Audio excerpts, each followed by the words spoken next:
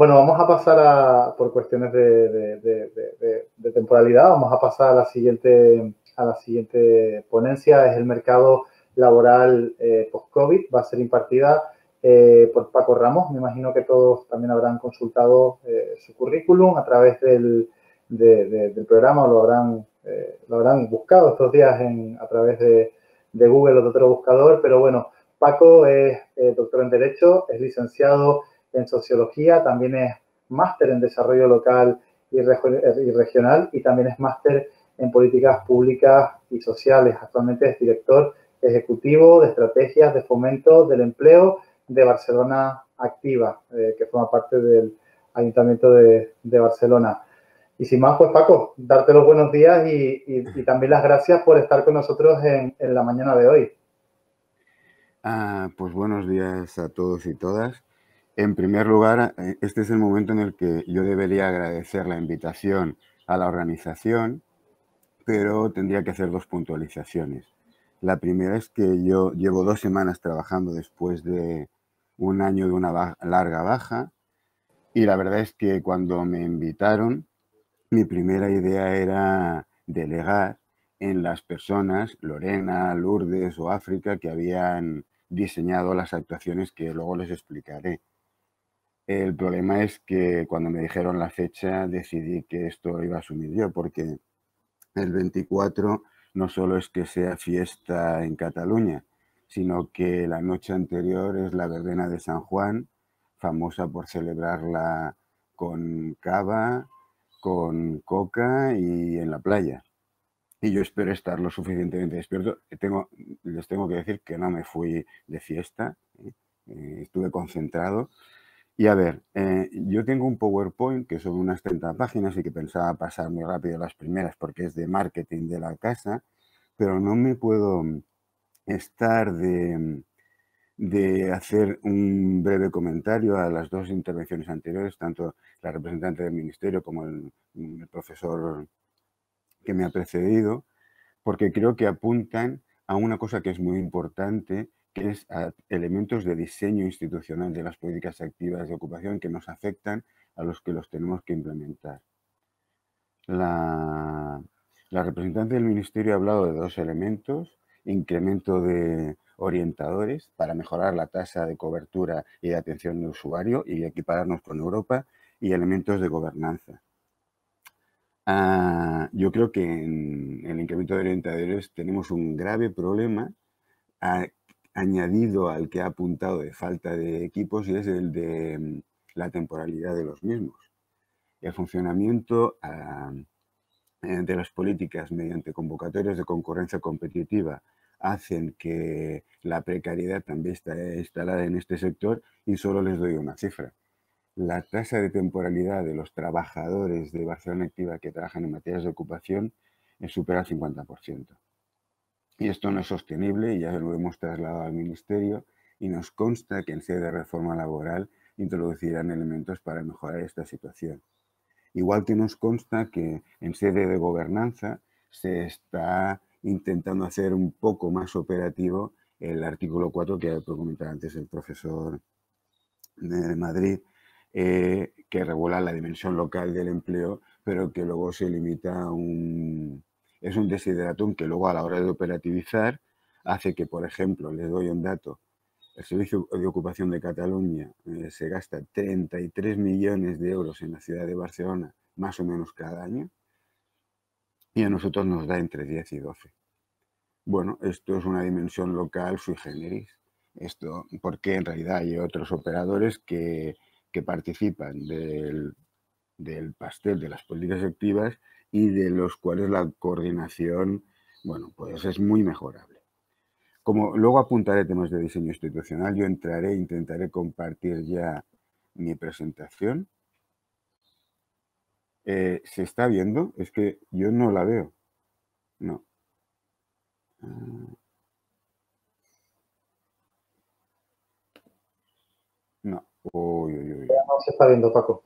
No, es que además me está haciendo una cosa rarísima Sí, lo estamos viendo todos en la, en la pantalla compartida. Ah, bueno, un momento, ¿eh? voy a intentar volver atrás.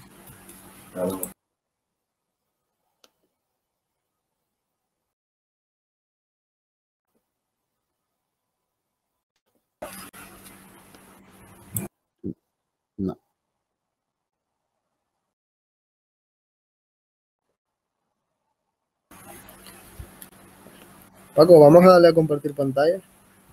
Sí. No, no, si ya le doy. El único problema es que el, icono para abrir el PDF es pequeñito. No, Sí. Ahora seleccionado. Pero tenemos que compartir pantalla primero. Acabamos de dejar de compartir pantalla. Vale, perfecto. Minimizamos esta, esta ventana. Sí. Ahora, voy a, le doy a compartir. Sí, ¿Comparto primero? Sí, toda la pantalla.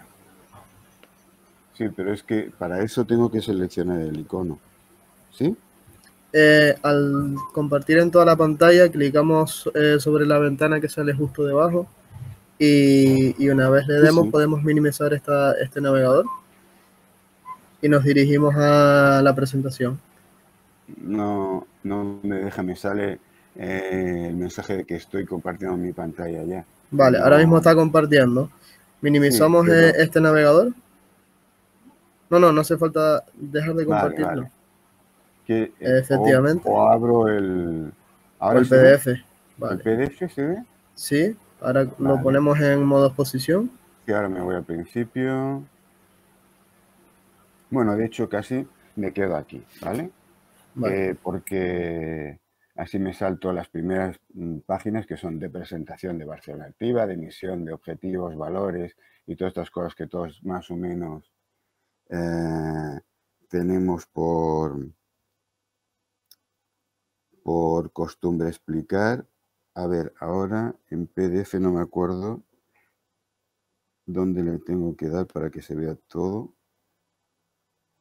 Ah.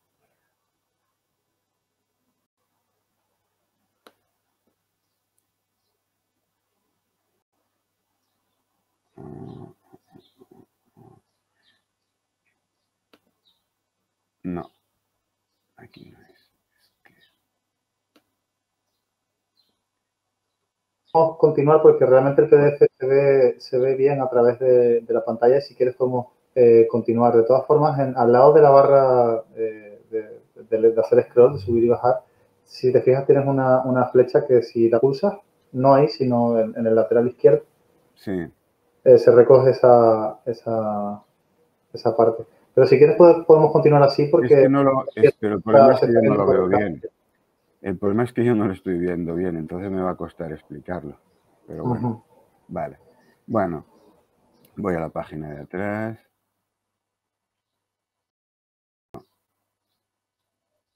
Es que antes lo he hecho. Vale. Eh, apriete control L, que es un atajo Sí. para ponerlo en pantalla completa. Pues no. Vale. Sí. Ahí lo tenía, pero se ha ido. Vale, mierda. Un momento. No.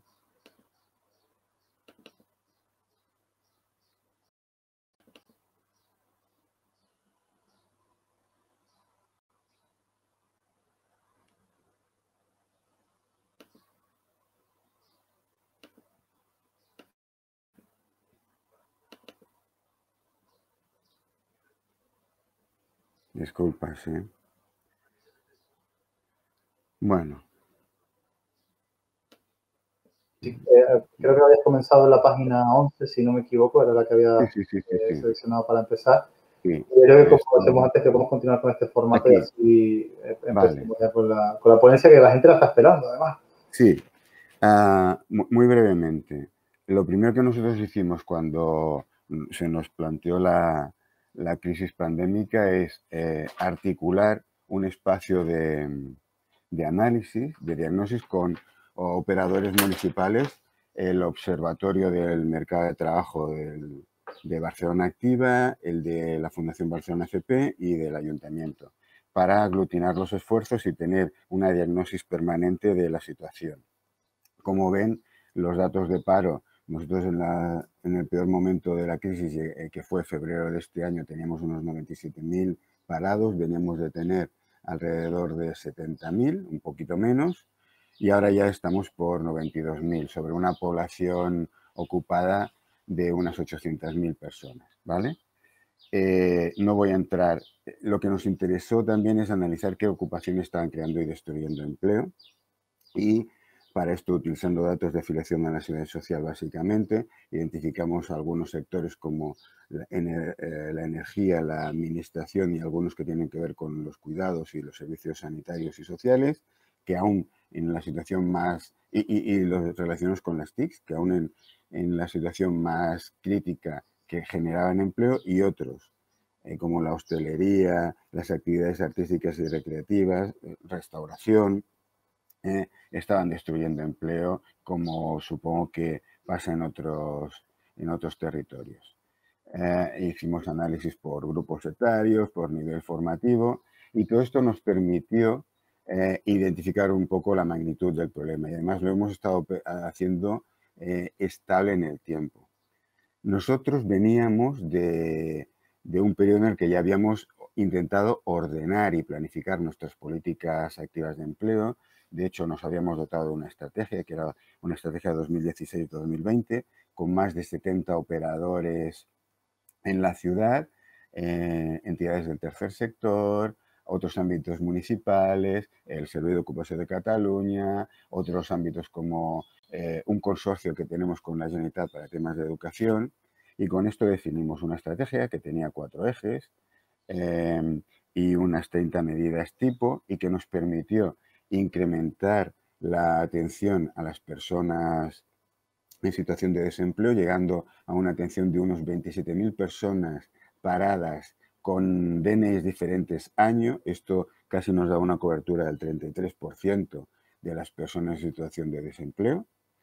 Incrementar la atención a las personas eh, eh, inmigrantes un poco por encima de su representación en el peso demográfico de la ciudad, entre otras cosas porque algunas de ellas eran irregulares y no están ni registradas, incrementar la atención eh, de las mujeres, que bueno, había una cierta asimetría en su participación en las políticas de empleo y mejorar 22 puntos la inserción laboral de las actuaciones que hacemos eh, en planes de empleo, que son las más relevantes, por lo que luego explicaré, llegando a un 52% de inserción. Cuando hablamos de inserción, hablamos de inserción en el mercado ordinario, en unas condiciones que nosotros ponemos a las empresas por las cuales los contratos tienen que ser de más de seis meses y pagar más de mil euros al mes, ¿vale? Es un protocolo que nos definimos para intentar impulsar eh, elementos de calidad en la contratación, porque la temporalidad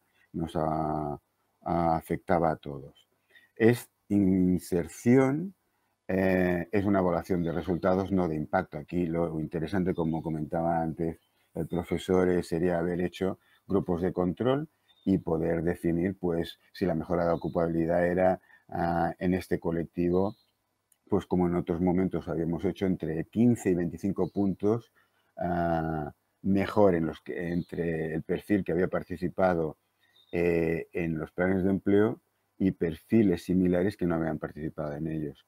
El problema, como también apuntaba, son los datos. Ya nos gustaría acceder a datos de afiliación, de contratación y del SICA-SISPE, pero de momento con la Administración Autonómica hemos topado y es imposible tener estos datos para hacer evaluación todo y que lo hemos puesto en varios convenios, en dos convenios como mínimo.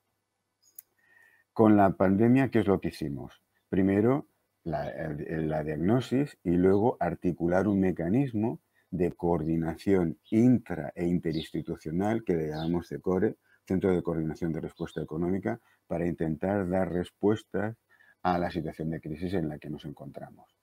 Uno de los ocho ejes en los que eh, priorizamos nuestra actuación era proteger el empleo y eh, fomentar el empleo de calidad. Y para ello nos dotamos de planes de choque un plan de choque específico y otro para el colectivo joven. Bien. Y eh, ah, para el año 2020 lo que hicimos básicamente es plantearnos primero, eh, poner en virtual gran parte de nuestra actuación. Nosotros conseguimos prácticamente en un mes poner toda nuestra formación, la que no era financiada por el SOC, en certificados de profesionalidad, ponerla online, la que era financiada con recursos propios, hasta el punto de que en estos momentos el 40% de los usuarios de esta formación son de fuera de la ciudad de Barcelona. ¿Vale? Porque, bueno, mm, si otra administración no lo hace y lo hacemos nosotros, los usuarios que identifican la, que tienen necesidad acceden a esta información y porque además nosotros lo hemos favorecido, por ejemplo, haciendo convenios con la Diputación de Barcelona y con el área metropolitana.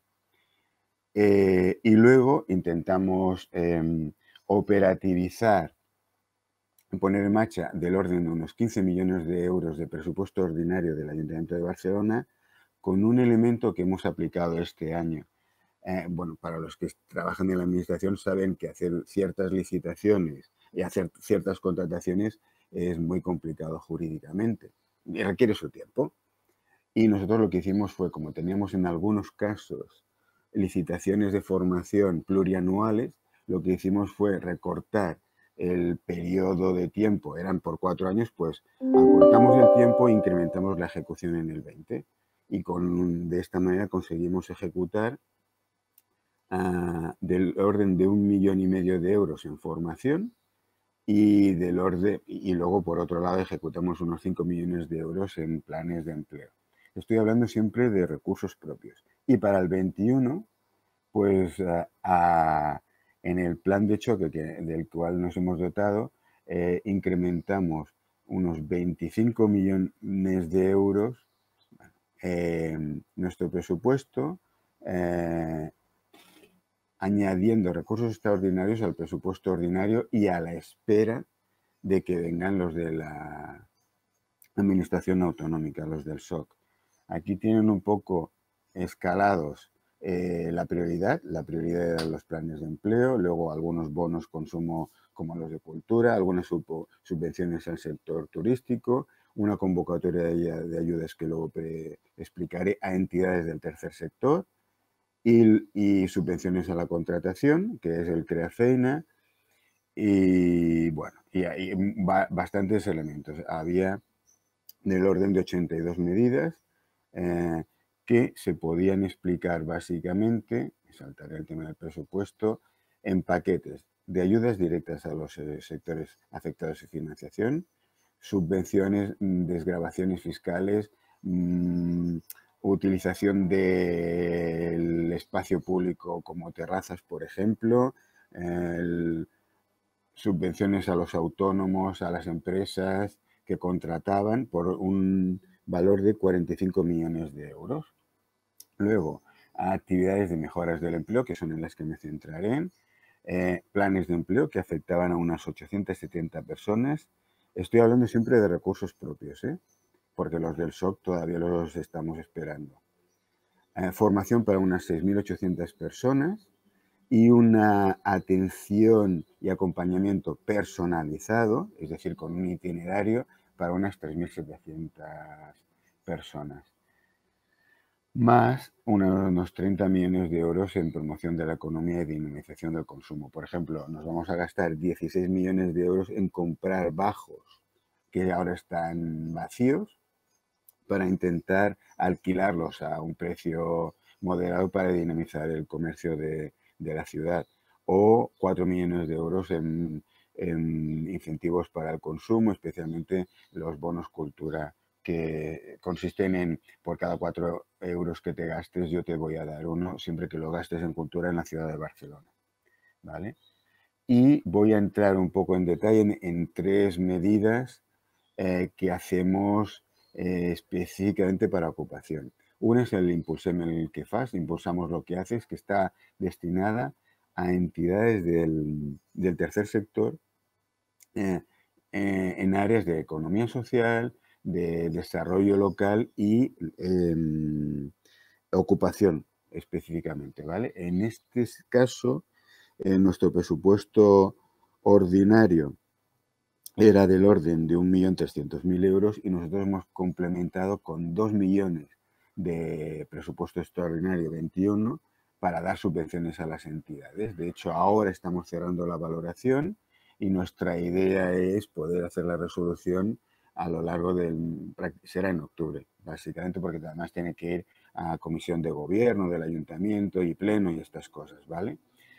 Eh, claro, nosotros podemos hacerlo relativamente fácil porque lo que hemos hecho ha sido suplementar presupuestariamente una línea de subvenciones que ya teníamos en marcha y esto nos ha permitido eh, la maquinaria municipal, que es muy farragosa, esté en línea y hicimos, lanzamos la convocatoria en abril, estamos cerrando la resolución y, perdón, la valoración y haremos la resolución y, primer pago en octubre, ¿vale? Uh, Crea Feina, que es una subvención, son subvenciones a la contratación hechas con recursos propios, condicionando el tipo de colectivos a poder ser, es mayor la subvención si los colectivos son usuarios de políticas activas de empleo de Barcelona Activa, es mayor si la duración del contrato es de un año que si lo es de seis meses. Y es mayor si es indefinido, ¿vale? Y aquí realmente estamos poniendo prácticamente recursos extraordinarios, porque de ordinarios, pues en el año 21 eh, no, tenemos, eh, no teníamos capacidad presupuestaria cuando definimos el presupuesto para poner partidas aquí, estábamos a la espera de convocatorios del SOC que todavía no se han producido y por lo tanto decidimos poner aquí 1.300.000 euros. Y la que más me interesa focalizar, porque siempre ha tenido muy mala fama, son los planes de empleo. Nosotros normalmente destinamos entre 3 y 5 millones de euros de presupuesto eh, propio hacer planes de empleo. Es cierto que el, de los planes de empleo tienen muy mala fama porque se supone que, mm, que se utilizan por parte de las administraciones públicas, en este caso las locales, para tapar eh, déficit de estructura de personal, pero nosotros hemos conseguido con los diferentes operadores municipales que este no sea el caso y que se utilicen para reforzar, para crear nuevas figuras ocupacionales que luego se pueden consolidar y esto nos ha dado una cierta atracción. Nosotros trabajamos con 38 operadores municipales, entre empresas municipales, distritos, áreas, eh, parques y jardines, por ejemplo, eh, bueno, educación, y hemos eh, conseguido operativizar del orden de 370 planes de empleo o a día de hoy de los 800 que teníamos previstos y con un importe económico de 8 millones de los cuales 5 millones son presupuestos de, valor de carácter extraordinario. Hablo siempre de recursos propios. Y aquí tengo que hacer una cuña respecto al diseño institucional de las políticas activas de empleo como las conocemos. Primero, que cuando el profesor ha hecho la definición, ha copiado, bueno, ha copiado no. Eh, yo hago exactamente la misma. Nosotros hacemos orientación, formación y empleo o combinatorios de estas para colectivos. Pero si uno va a ver las convocatorias de las administraciones autonómicas, se puede encontrar con 32 tipos diferentes de convocatorios de ayudas, que en las cuales son ellos los que deciden la combinatoria. Bien. Y además con otro problema que es aún peor, y es que, como digo, a estas alturas del año no sabemos de cuánto, bueno, se supone que no sabemos de cuánto dinero dispondremos. Eh, dinero proveniente de la Administración Autonómica y de conferencias sectoriales. Pero lo cierto es que a nosotros, el Servicio de Ocupación de Cataluña, en concurrencia competitiva, nos ha estado dando eh, cada año prácticamente lo que les pedíamos. Y esto es poca subvención en concurrencia competitiva, es otra cosa. Y esto tiene que cambiar.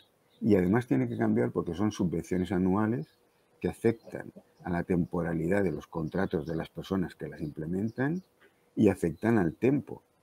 Es decir, el SOC hasta mm, este año, por ejemplo, pues ya sabemos que nos tenía que dar entre 10 y 12 millones, pero el lunes pasado nos dijo que, bueno, como van a caer más recursos, nos van a doblar las subvenciones. Y por lo tanto... Paco, disculpa, Si, si, quieres, eh, vamos a, ir pasando al análisis del estudio porque nos quedan pocos minutos para, para y, como la presentación luego va a estar disponible una vez que termine la, la, sesión. Muy, muy brevemente. Eh, Perfecto, gracias. Lo que os digo, los que, que quería apuntar es sencillamente que para los que estéis en el sector, operativizar la ejecución del doble de dinero en seis meses es prácticamente irrealizable, a no ser que hagas eh, los ejercicios a los que todos estamos avesados, es conveniar con una administración que está al lado o, tirar de los, ampliar, como he comentado antes, los contratos que tenemos eh, en marcha de licitación de alguna formación y luego, bueno, pues acabar a 31 de diciembre contratando N planes de empleo. Bien, pero de momento nos hemos, ah, hemos apuntado a este tipo de actividades. Y luego, para la última, antes de entrar en los estudios, es, nosotros hemos em, identificado que hay muchos sectores de actividad, el de la economía azul, por ejemplo, que tenían problemas de cualificación tan sencillos como que eh, la principal prioridad a la hora de eh, encontrar empleo en sectores como el de la economía de cruceros o, similares era el conocimiento de idiomas, especialmente del inglés. O también para muchas personas que trabajan en hotelería, restauración o, por ejemplo, los taxistas. Entonces, nos hemos gastado un millón de euros de presupuesto extraordinario en formar en idiomas, ¿vale? Muy brevemente, eh, ¿qué es lo que hicimos? Y esto es lo que apuntaba antes. Eh, en el dispositivo de observatorio que articulamos con Ayuntamiento Barcelona Activa y la Fundación Barcelona FP, hicimos primero un, un, equipo que diagnosticaba mensualmente la situación del mercado de trabajo y aquí tenéis el link a la web y el impacto. Hemos hecho un análisis mensual y ahora acabamos de publicar el análisis anual, muy detallado y que ya veréis, para identificar básicamente qué sectores em, tenían el funcionamiento eh, que replicaba el de el ciclo económico, por tanto el de la crisis, por lo tanto destruían empleo, qué sectores em, eran, mantenían una situación sólida, se mantenían en la ocupación independientemente de la situación de crisis y cuáles eran eh, resilientes, incluso eh, estaban generando ocupación. Y esto nos permitía luego a, identificar contra qué sectores hacíamos estudios especializados. Por ejemplo, hicimos uno de perfiles profesionales con la comunidad portuaria de Barcelona, que complementaba otro que hicimos desde Barcelona Activa sobre la economía azul que presentaremos el 15 de julio con los autores. Y, en esto, y luego hemos hecho otro estudio en el sector del comercio y la restauración que nos ha permitido identificar contra qué competencias, eh, no siempre cubiertas por certificado de profesionalidad, diseñar las actuaciones formativas. Ahora estamos ultimando otro estudio sobre el sector de los cuidados. Es decir, un primer análisis de la evolución del mercado de trabajo nos permitía identificar qué sectores podían ser en este momento los más prioritarios a la hora de apuntalarlos para ayudarlos en, su, eh, en la generación de empleo y a partir de aquí pues diseñar las actuaciones formativas al respecto. Y en este sentido, nosotros, como comentaba antes, estructuramos ofertas en idiomas pero como comprenderéis, ejecutar un millón y medio de euros es relativamente complicado y lo que hicimos fue llegar a acuerdos con el Consorcio de Educación de Barcelona, que es titular de la Escuela Oficial de Idiomas, o con la Universidad Autónoma de Barcelona, que tiene una escuela también oficial de idiomas, y mediante convenio dijimos, bueno, vais a formar a personas en situación de desempleo en estas especialidades, en estos idiomas, inglés, francés, italiano, ruso, árabe y chino. Os tengo que decir que la primera edición ya está cerrada, ya no nos quedan plazas. Y en septiembre volveremos a lanzar otras actuaciones, ¿vale? Y luego apuntamos, como comentaba antes, a sectores en lo que nosotros le llamamos el reskilling sectorial, en, en sectores como la economía verde y circular, la logística, las ciencias de la vida y la salud, especialmente atención sanitaria, alimentación y bebidas, y economía azul, como os comentaba antes, o la economía del deporte. ¿Cómo lo hemos operativizado en corto espacio de tiempo? A estas 23 actuaciones que tenemos, básicamente con convenios con el Consorcio de Educación de Barcelona, el CEP que sale aquí, que es titular de varios institutos que además eh, están homologados por el Servicio de Empleo como centros que pueden impartir actuaciones de certificados de profesionalidad. Por lo tanto, utilizamos los centros de formación profesional reglada como espacios para hacer eh, certificados de profesionalidad y con nuestros recursos actuaciones muy intensivas en el tiempo, más cortas y que no llegan a ser un certificado de profesionalidad, eh, pero que permiten una capacitación rápida y una inserción después en el mercado de trabajo. Digo, convenio con el consorcio, con el consorcio de educación y luego veis aquí, por ejemplo, escuelas gremiales, la Fundación Laboral de la Construcción o, por ejemplo, Mercabarna, que es, una, es em, la empresa municipal que gestiona los mercados municipales en los que hemos hecho formación pues, desde el gremio de industrias cárnicas o de em, eh, en otros ámbitos también con el gremio de instaladores, hemos hecho siempre información aplicada, formación aplicada, perdón, que luego nos ha permitido insertar a las personas participantes y de hecho alguna de esta formación que ya estamos finalizando las primeras ediciones, prácticamente, el otro día me explicaban, la que hemos hecho de eh, industrias cárnicas, todas las personas, en este caso jóvenes que la han recibido, que son 60, ya están trabajando y de hecho tenemos em, tiendas o grandes superficies, pero también paradistas de mercados municipales que nos están pidiendo ya más personas de este perfil. ¿vale? Ah, lo siento por la velocidad, pero quería apuntar a una cuestión. Es muy importante reflexionar sobre los sectores eh, que están creando y destruyendo empleo, pero también es muy importante en la coordinación con todos los operadores que existen en la ciudad y luego tener muy claro que el diseño institucional de las políticas activas de empleo tiene que cambiar.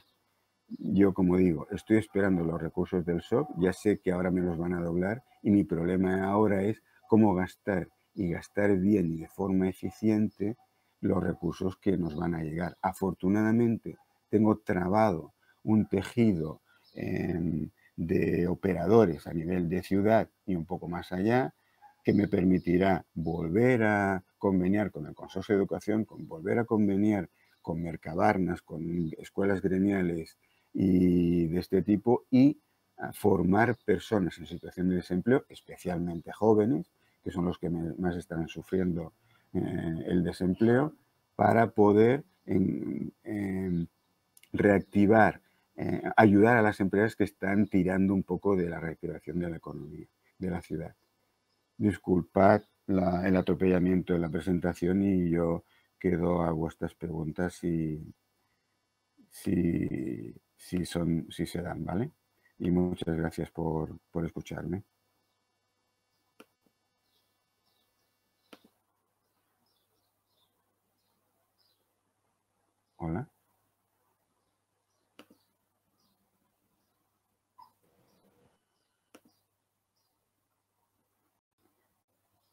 Paco, muchísimas gracias por tu, por tu presentación. Perdona también por lo atropellado del tiempo, pero tenemos eh, poquitos instantes para, ir haciendo las diferentes presentaciones, pero yo creo que, ha resultado sumamente interesante, sobre todo para extrapolar lo que ha sido el, ejemplo de lo que ustedes han hecho en, el Ayuntamiento de Barcelona a, las diferentes, eh, pues a los diferentes técnicos de, locales que puedan estar interesados en aplicar también este tipo de, de políticas. Paco, de verdad, muchísimas gracias por estar con nosotros en, la mañana de hoy. En un día de fiesta. En un día festivo además, que es San Juan. Muy bien, pues muchas gracias a vosotros. Un abrazo fuerte, amigo. Cuídate mucho. Adiós.